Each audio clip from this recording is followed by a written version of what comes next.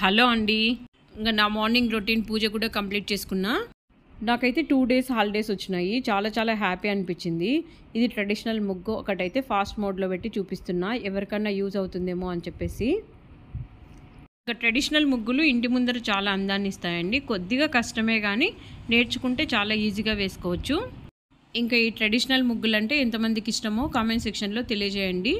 ఇంక ఇలా ముగ్గులు వేసిన తర్వాత చూడండి మా గుమ్మం ఎంత అందంగా ఉందో. సూర్యకిరణాలు చూడండి డైరెక్ట్ ముగ్గు మీదనే పడతాయి. ఇదో ఇలాగా.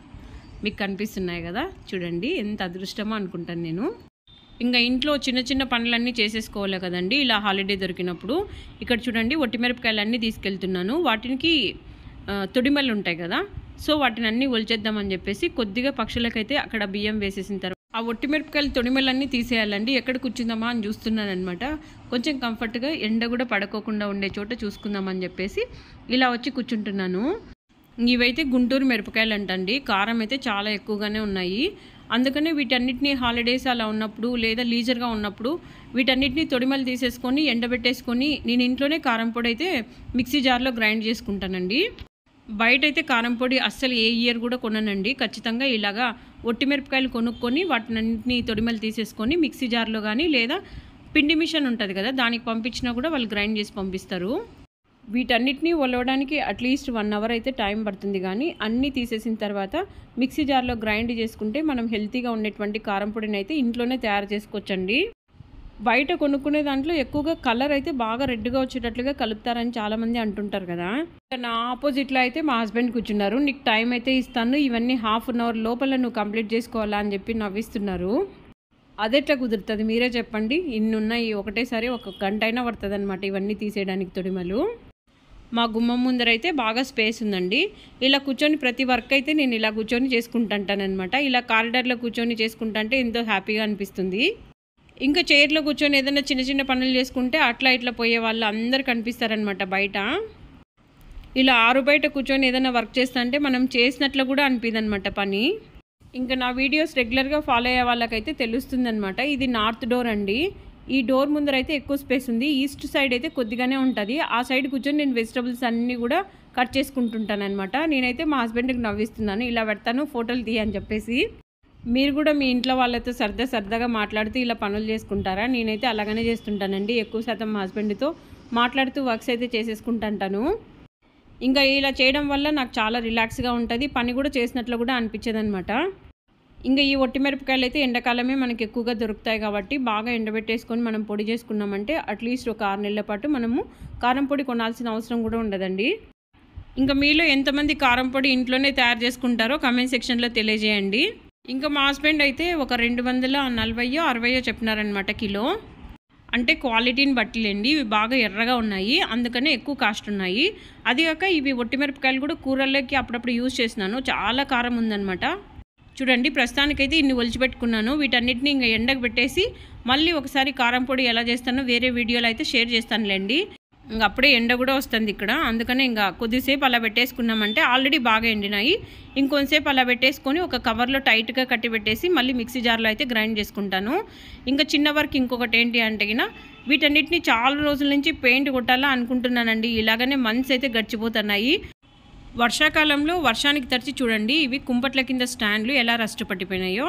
అందుకని ఒక చిన్న డబ్బా అయితే పెయింట్ డబ్బా తెప్పించుకున్నాను. ఇవి చాలా ఈజీనే అనమాట ఇలా పెయింట్ చేసుకోవడం. ఇలా చేయడం వల్ల ఇవి డ్యూరబిలిటీ ఎక్కువ వస్తాయండి. ఎంత రేటు పెట్టి తెచ్చుకుంటానో అన్నీ జాగ్రత్తగా చూసుకోవాలి కదా మరి. ఇంకా టైల్స్కి అంతా పెయింట్ కాకోకుండా ఈ విధంగా న్యూస్ పేపర్ అయితే వేసుకొని నీట్గా పెయింట్ చేస్తున్నానండి. టైల్స్కి పెయింట్ అయిందంటే ఇంకా అస్సలు పోదనమాట అందుకనే ఇలా చేసుకుంటున్నాను. ఇంకా ఎక్కువ స్టాండ్లు ఉన్నాయి కాబట్టి ఇది కూడా వన్ అవర్ అయితే టైం పడుతుంది ఖచ్చితంగా. మీరు కూడా ఇంట్లో చిన్న చిన్న పనులు మీరే చేసుకుంటుంటారా? ఇంకా నేనైతే టీవీ చూసుకుంటూ సీరియల్స్కి సినిమాస్కి చాలా తక్కువే అండి టైం స్పెండ్ చేసేది. టైం దొరికిందంటే ఇలాంటి చిన్న చిన్న పనులు చేసుకుంటాను. టీవీ కూడా చూస్తాను కానీ చాలా తక్కువ టైంలో చూస్తాను అనమాట ఇలా పెయింట్ వేస్తున్నప్పుడు నాకైతే చిన్నప్పుడు డ్రాయింగులు గుర్తుకొస్తాయన్నమాట. డ్రాయింగులకు కూడా బాగా పెయింట్ వేసేదాన్ని. ఇంకా ఇదంతా క్రియేటివ్ వర్క్ అండి. ఎవరేం నేర్పించాల్సిన అవసరం లేదు. ఆటోమేటిక్గా మనమే చేసుకోవచ్చు అనమాట ఇంకా వీటికి కూడా పెయింటర్లను పిలిపించి మనం చేయించాల్సిన అవసరం అయితే లేదు కదా. ఇలాంటి చిన్న చిన్న పనులు చేసుకోవడం వల్ల ఎంతో హ్యాపీని అయితే ఇస్తుందండి నాకు. చూడండి అన్ని స్టాండ్లని కొట్టేసిన తర్వాత మీకు చూపిస్తాను ఎంత బాగా చేస్తున్నానో కదా. బ్లూ కలర్ స్టాండ్ కూడా ఇంతకు ముందు ఎప్పుడో కొట్టింటినండి. అది కూడా పోయిందని చెప్పేసి ఇప్పుడు గ్రీన్ కలర్ అయితే వేస్తున్నాను. తులసమ్మను కూడా పక్కన పెట్టేసి దాని కింద ఉండేటువంటి స్టాండ్ కూడా వేసేస్తున్నాను. ఇంకా ఈ రెండు స్టాండ్లకి మరి ఎప్పుడైనా కొడతాను. నేను ఒక వర్కర్ని అయితే పిలిచింటునండి ఇంటి క్లీనింగ్కి. ఇంకా ఆమె కూడా వచ్చేసిందని చెప్పేసి ఆమెతో ఒక ఫోర్ అవర్స్ అయితే వర్క్ చేయించుకున్నాను. ఇంకా లాస్ట్ వీక్లో అయితే ఒక ఇద్దరిని పిలిచింటానమాట రెండు బెడ్రూములు మాత్రమే కంప్లీట్ అయినాయి. ఇది dining room. So dining room అంతా నీట్గా క్లీన్ చేస్తుందని చెప్పేసి ఇలా పైకైతే నేను ఎక్కలేను కదండి. అందుకనే ఇలా వర్కర్లను అయితే సంవత్సరానికి ఒక రెండు సార్లు అయితే ఇలా పిలిపించుకొని గోడలతో సహా నీట్గా క్లీన్ చేయించుకుంటానమాట ఇంకా వాళ్ళైతే నీట్గా చేస్తారు కదండి. మనమైతే అంత పెద్దగా చేసుకోలేము కదా వర్క్. కబోర్డ్ల కింద కూడా నీట్గా చేస్తారండి వాళ్ళైతే. ప్రతి గోడని ఎక్కడ స్పేస్ వదలకుండా నీట్గా చేయమని చెప్పాను ఈమెకి. సో ఇక్కడైతే అంతా డస్టింగ్ చేసుకొని తనే నీట్గా క్లీన్ చేస్తూ ఉంది. వంట రూమ్లో పైన కబోర్డ్స్ అంతా కూడా తనే తీసుకొని చేసుకుంటానని చెప్పిందనమాట. మొత్తం అంతా కూడా క్లీన్ చేపిస్తున్నాను.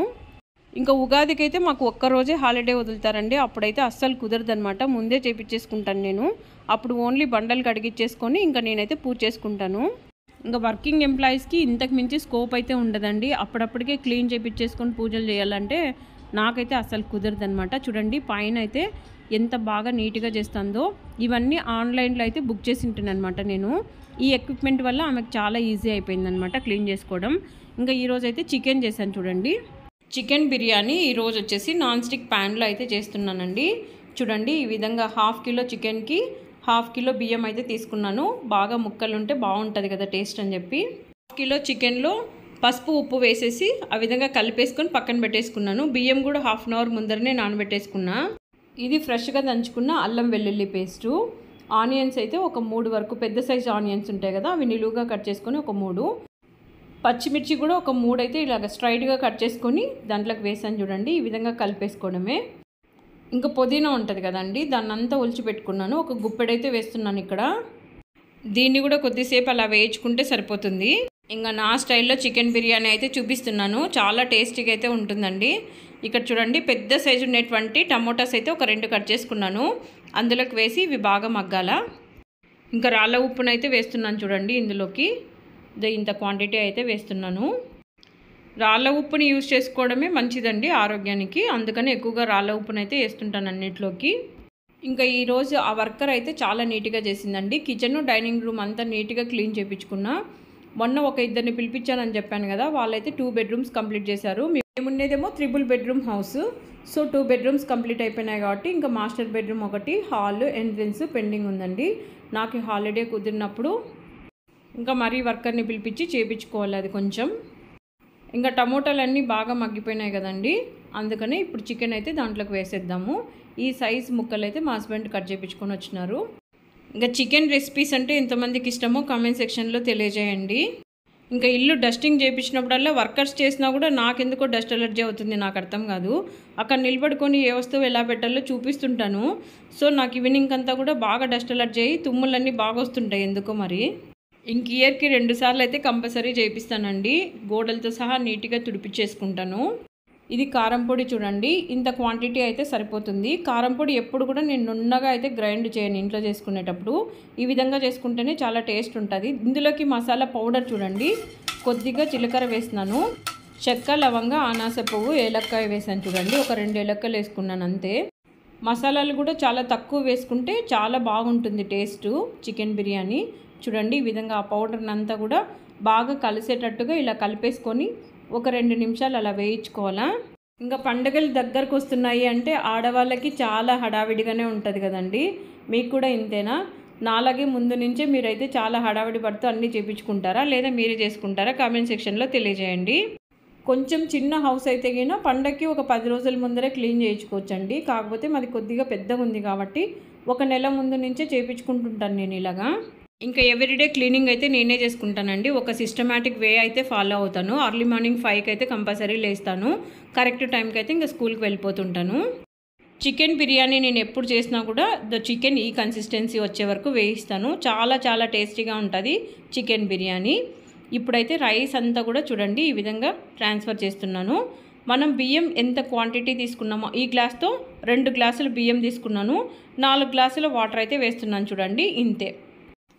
కరెక్ట్గా ఒక ట్వంటీ ఫైవ్ మినిట్స్కి అయితే బిర్యానీ అయితే రెడీ అవుతుందండి.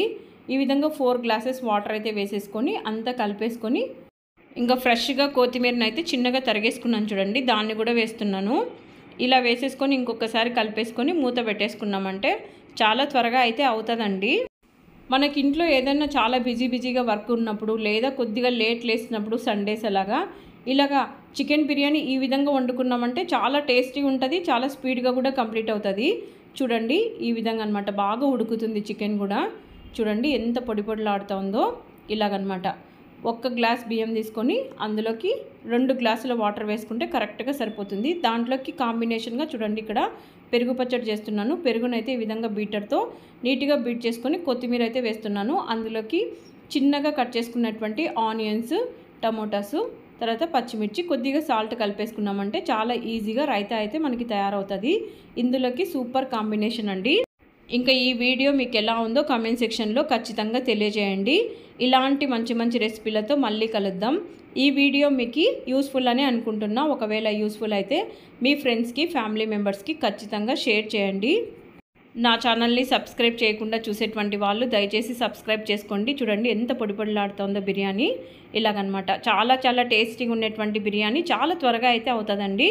ఇంకా వేడి వేడిగా మా హస్బెండ్కి అయితే సర్వ్ చేస్తున్నాను చూడండి.